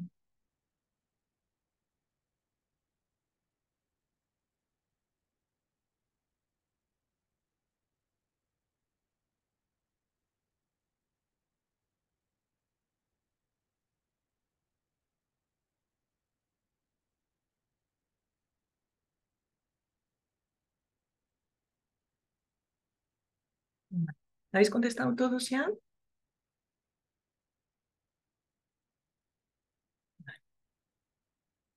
Eh, a mí se me ha cerrado el menti. ¿Se te ha cerrado el mente? ¿A los demás también? Me han puesto por el chat. Ah, vale. Sí, me ha echado. No, pero sí, tú eres de Rafael, ¿no? Sí. Sí, ya, ya contestaste. Ah, vale. Pues es que no. Vale, y yo te quería hacer una pregunta. Sí, dale. Eh, mira, hay un- yo sé que mm, hay un calendario en Google Sí, eh, de todas las eh, mm, convocatorias de fundaciones eh, eh, para captar fondos y para subvenciones y demás. Eh, yo no sé si a lo mejor tú lo tienes o lo podrías eh, compartir. A ver, a ver, No lo ¿un sé. calendario de qué? Sí, es un, igual que tienes los calendarios con las, los festivos, los días festivos, Sí, ¿vale? Que se te pone en Google, ¿vale? sí. Eh, tengo constancia de que hay un calendario, lo que pasa es que no lo, encon- no lo consigo encontrar. No sé si eh, tal con todas las subvenciones, es un calendario que no sé quién lo hizo, lo ha hecho alguien y te pone todas las fundaciones con todas las convocatorias, etcétera, etcétera. No, ¿No? no, no, tengo eso, ¿no?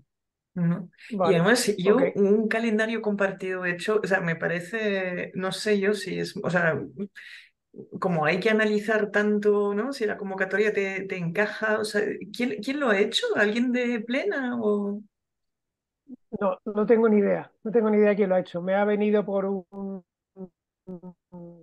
por mi hermano que trabaja en otra fundación Sí. y sí, dime.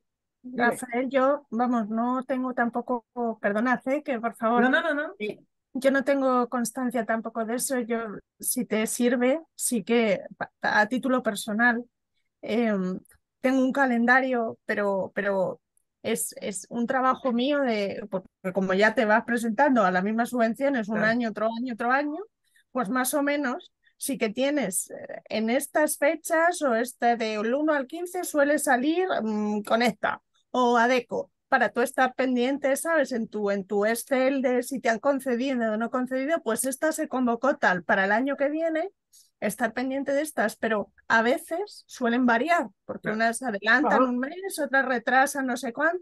Entonces, a título personal es algo que, que a mí me vale como referente, ¿no? Como para estar pendiente este mes, ahí está- salieron estas tres. Cuidado porque a veces te llegan porque, porque ya estás ahí en sus bases de datos y otras veces pues se les pasa, no te informan y tienes que buscarlo tú en, en Google, pero ojalá tuviéramos ese calendario, ¿verdad? Pero no. Sí, bueno, pues eh, vale, yo si lo, si lo consigo, eh, lo co- comparto. Eh, Si lo consigo, lo comparto porque tengo, mi hermano creo que lo tiene, pero no sé, no me lo puede compartir, no sé por qué hay un problema con Google. Entonces, investigaré a ver si, si lo ha hecho alguien a título personal, como lo has hecho tú, y lo ha podido llegar a compartir. ¿Vale?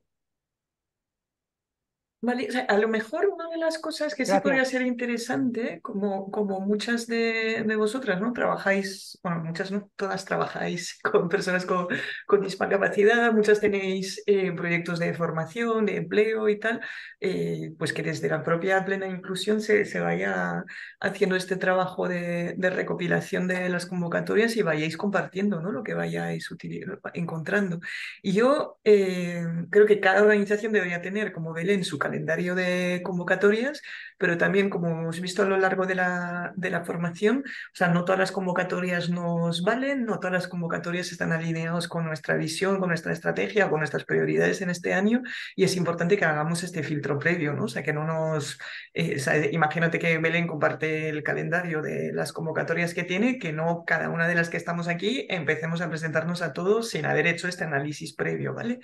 Eh, eso, eso, es, eso sería mi, mi recomendación. Ok, eh, me gustaría haceros una última pregunta en, en Menti y es si tenéis algunas ideas para siguientes formaciones, para pasárselo a, a Pedro, ¿no? De, de, cara a ideas, mm, contenidos que os gustaría ver, en qué os gustaría profundizar, en qué os gustaría adentraros. Que,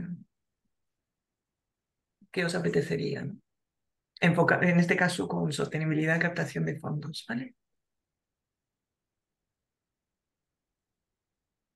Rafael, lo puedes poner por el chat si, te, si el mentir te ha, echado ya. Perdona, que me ha venido una cosa. ¿Puedes repetir, por favor, si es tan amable? Me ha venido cosa por el mail, por el teléfono. Nada, ¿qué, siguientes, o sea, qué, qué, ideas, qué necesidades, qué contenidos os gustaría ver en siguientes formaciones para pasárselo a, a Pedro de plena inclusión? Contenidos, herramientas, enfoques, profundizar en algo.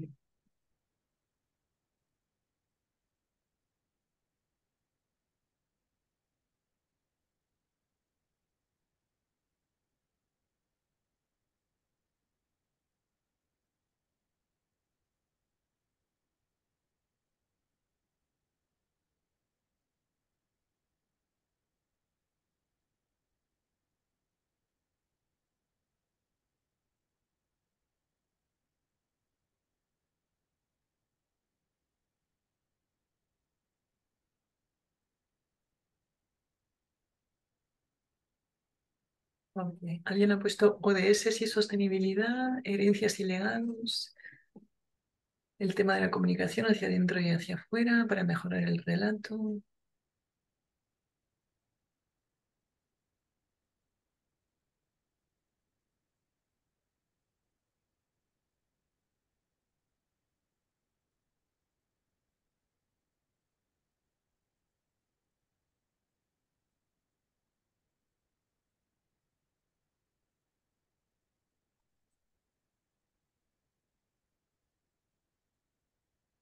Herramientas de prospección, los los contactos en las empresas que sean interesantes.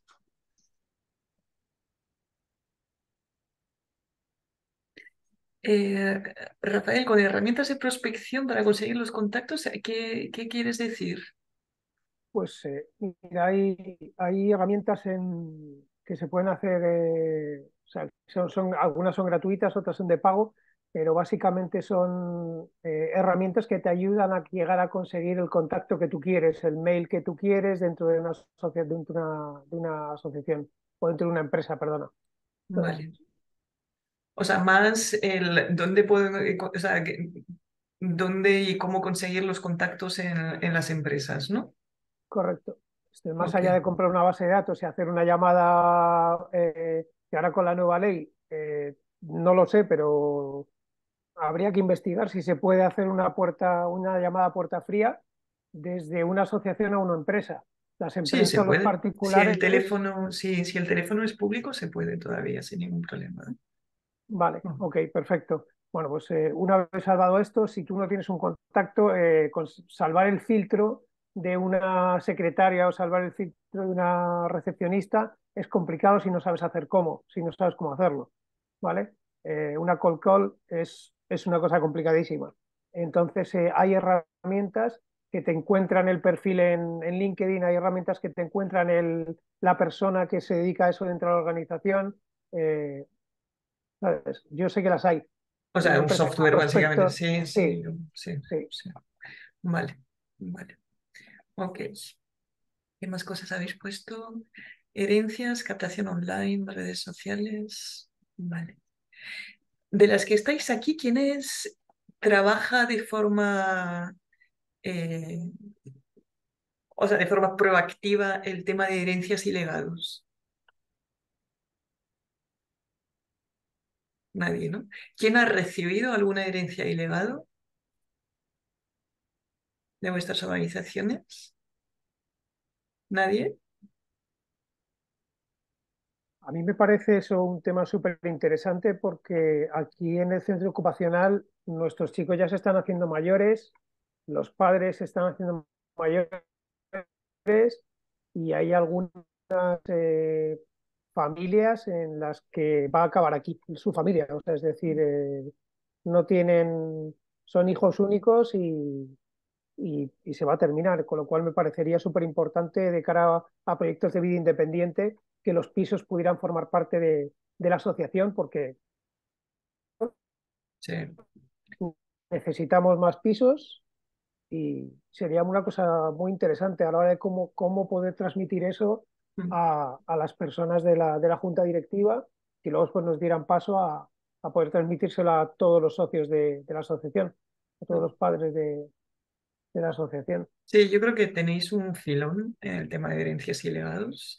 Creo que también es un tema siempre sensible de, ¿no? que nos parece siempre sensible de, de trabajar que, que, sin embargo, bueno, pues hay que, yo creo que tenéis un filón. Yo creo que las ONGs que trabajáis con personas con discapacidad y algunos tenéis personas tuteladas y demás, es, un, es una oportunidad muy grande que hay que trabajar de forma muy, muy concienciuda, muy, muy delicada y, y, sentirse muy cómodos ¿no? con el mensaje. Es que no es fácil. O sea, yo lo he trabajado en otras organizaciones y, y cuesta, ¿no? Y con, con, un cliente ahora mismo y está costando mucho que, la gente esté dispuesta ¿no? a hablar, tan solo a hablar ¿eh? de la posibilidad de herencias y legados. ¿no? Es, pero, pero sí, yo creo que es una parte del futuro de la sostenibilidad de vuestras organizaciones muy, muy importante.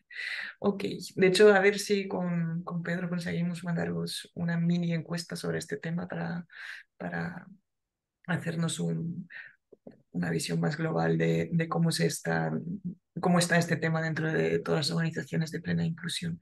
Un poco la idea. Ok, yo en realidad os he pedido media horita más, pero por mi parte he terminado. No sé si queréis compartir, bueno, cómo os habéis sentido en esta capacitación, si os parece que, que ha sido útil. Eh, Pedro os mandará una evaluación, por supuesto, eh, y que habéis, eso, que habéis aprendido, pero también que, que echáis en falta, ¿no? Que yo sé, el tiempo va a salir siempre, pero esto no, yo no lo marco. Tienes este tiempo y tantas sesiones, ¿no? Pero bueno, así se lo podemos pasar a, a Pedro de aquí. La gente siempre se queja de, que quiere más tiempo, aunque luego luego no vais. luego no vais. No sé qué, quién quiere empezar. Un poquito de, de, feedback y nos liberamos antes si, si, lo, si lo vemos. O sea, si podemos, también está bien. ¿Quién empieza? ¿Qué os ha pues parecido la capacitación, Rafael?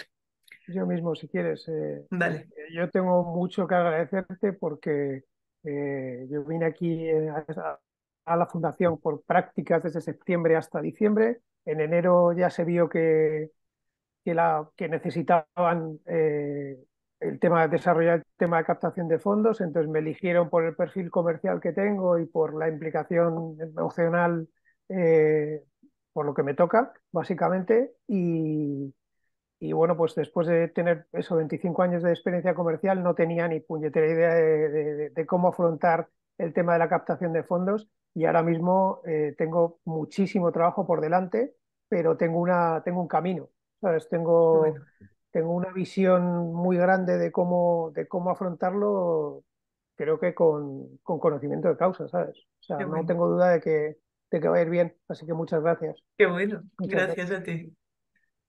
¿Alguien más que quiera compartir algo?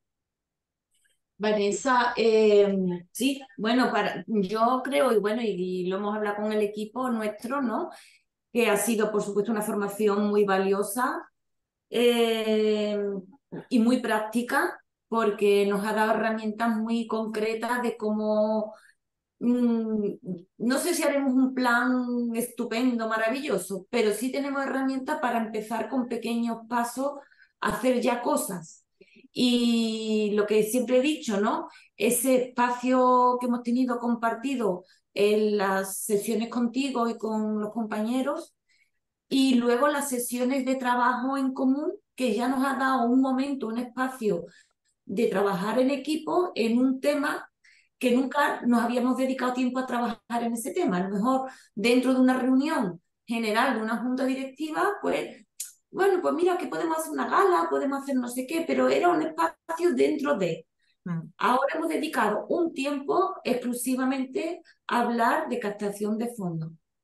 Con unas herramientas, con un trabajo que, que tú nos has enviado, teníamos que concentrarnos en esa tarea y creo que con esa metodología podemos seguir trabajando, como hemos dicho, en este espacio que hemos reservado ya, pero además con unas estrategias, con un trabajo que ya hemos elaborado que nos sirve de base.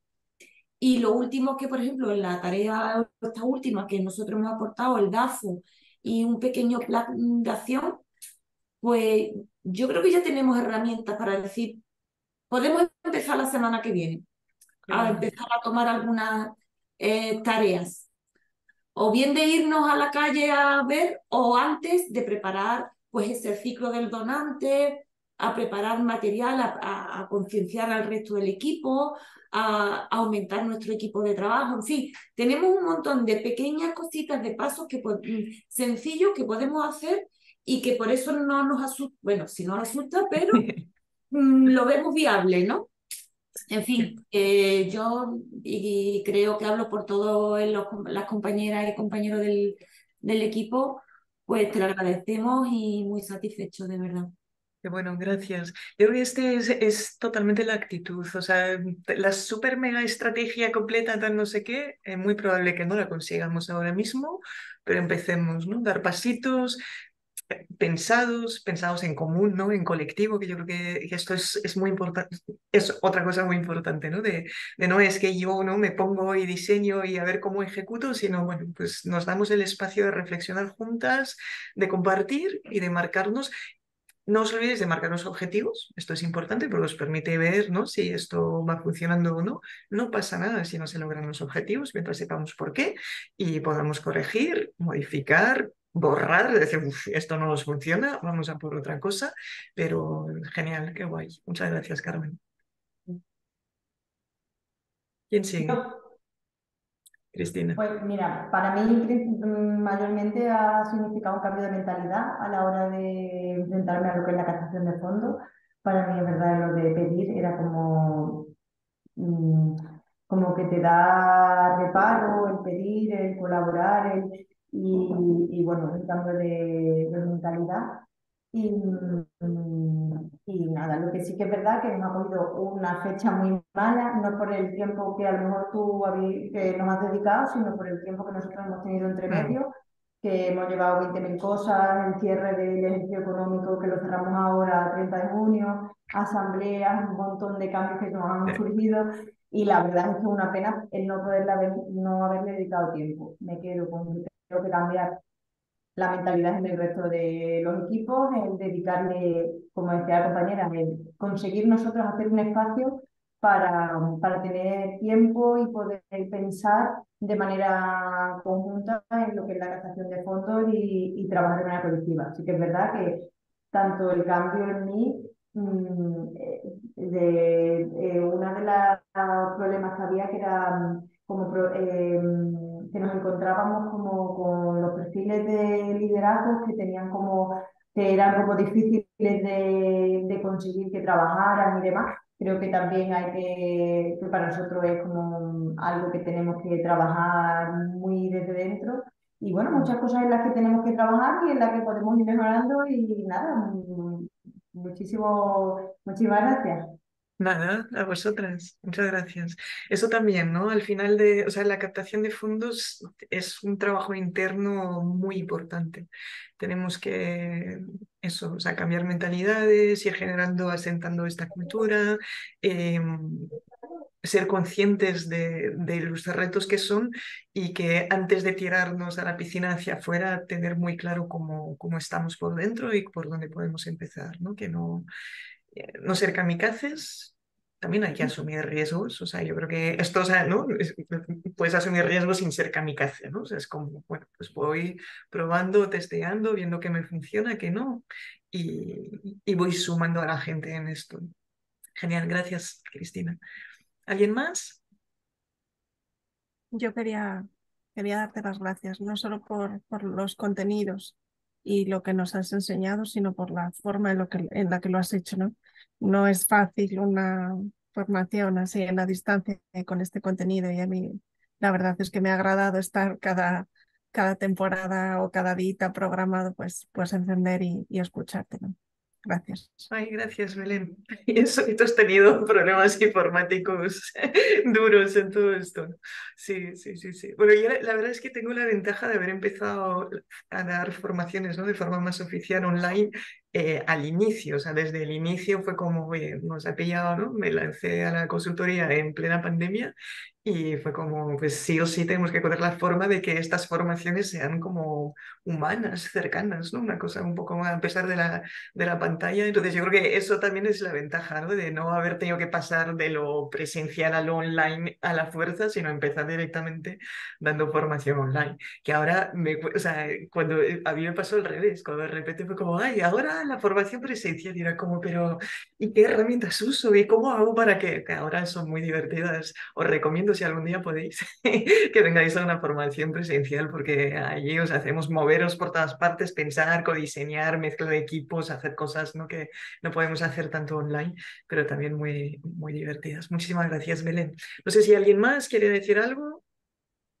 Si no, ya bueno, nosotros, eh, Vanessa, nada, hablo en nombre también de la compañera que está por aquí, Belén, eh, darte las gracias por, por, la, por la, formación, eh, por la información y sobre todo, pues bueno, yo creo que también un poco por espabilarnos un poco, ¿no? En el buen sentido de la palabra, que decir, al final cuando te enfrentas a esta tarea, yo creo que los son primero todos los miedos los que te vienen a la cabeza, la incertidumbre, no saber por dónde empezar y creo que hay un orden perfecto ¿no? en todo lo que, lo que nos has ido contando y, sabemos por dónde empezar. Creo que nosotros en Fraternidad hemos también ampliado la mirada un poco y el equipo. Ya había gente que se había formado contigo, además, en, en, la tarea, pero bueno, por sus responsabilidades y por eh, agrupar además un montón de, de responsabilidades, tareas y tal, pues creo que ahora hemos ampliado el equipo. Hemos generado también, como decía Carmen, de la raíz un hábito, es decir, hemos, hemos logrado eh, reunirnos eh, después de cada sesión, aunque es difícil a veces entre los 15 días, pues reunirnos presencial o, o, de manera online a través de correos que el equipo esté informado y eso ahora yo creo que nos va a permitir también pues pues seguir haciéndolo, ¿no? Que, que, tenemos un hábito, una continuidad y, y, hablar de captación ya no es algo extraño o que dependa de dos personas solo de la entidad, cuando cuando hay, hay mucha gente. Y luego, por último, que a mí me gustó mucho de hoy, el tema de la inclusión. Creo que no perder de vista que la captación de fondos como concepto a mí me suena fatal. De hecho, me gusta más hablar de sostenibilidad o no sé, es como que te suena, como que suena mal, ¿no? Y, y creo que al final lo que has contado hoy de la inclusión, de la inclusión hacia adentro y hacia afuera, nos recupera con el objetivo principal de nuestras entidades, que, es, que son las personas, ¿no?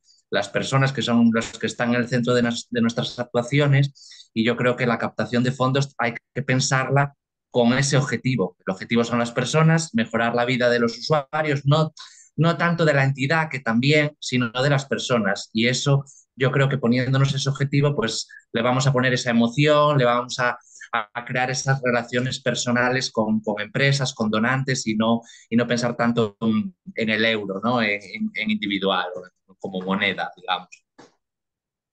Gracias, Adán. Yo esto es una cosa que, que, más me sorprende cuando hacemos talleres presenciales, conjunta y tal, a decir, ¿por qué estamos aquí? Y entonces siempre te vas porque el servicio no sé qué, o porque las familias no, no podemos cuidar, y es como, no, no, o sea, ¿por qué estás aquí? Y entonces, no, siempre hablamos, y mucho además en las entidades de pleno, las personas en el centro ya, pero cuando te pregunto por qué estás aquí, estás hablando de que administración lo tenga más fácil o que, ¿no? Y es como, no, no, ¿por qué estamos aquí? de si personas en el centro estamos para mejorar la vida de las personas con discapacidad con las que trabajamos. Y eso, por supuesto, tendrá un impacto en sus familias, en la organización, en todo lo que queráis, ¿no? Pero es como, no se nos olvide que todo administración, finanzas, proyectos, está al servicio de las personas para las que trabajamos. ¿no? Y, y, a veces, aunque parezca mentira, estamos tan ¿no? en nuestro que se nos olvida el para qué.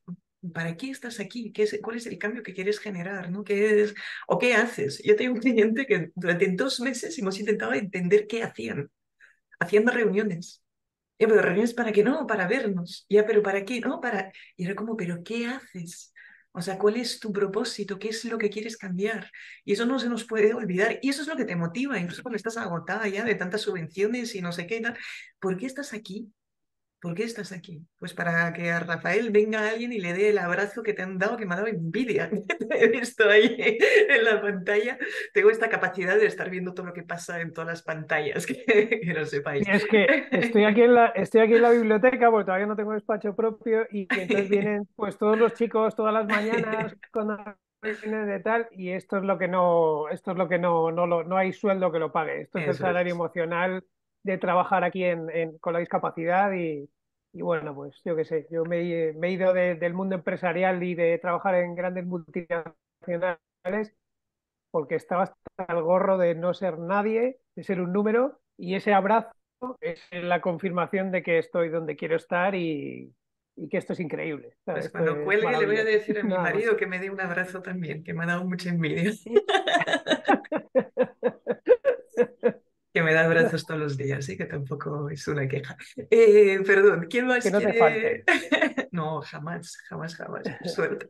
¿Quién más quiere decir algo? Si no, ya nos, nos vamos. ¿Y estamos? Genial.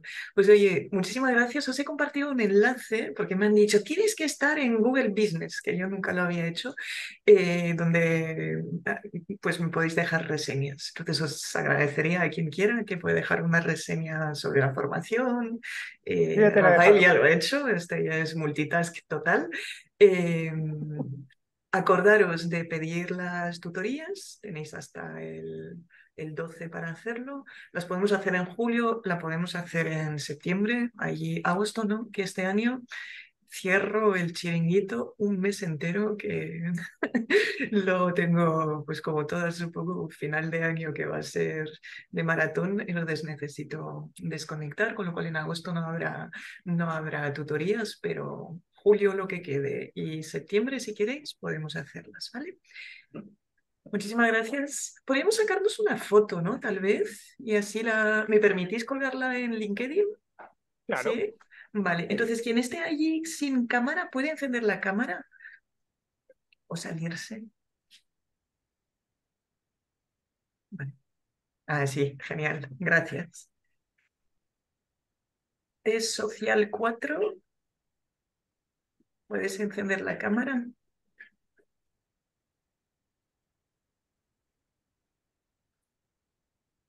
Espera, os voy a avisar, poneros, poneros guapos y guapas. Y ya estamos, voy.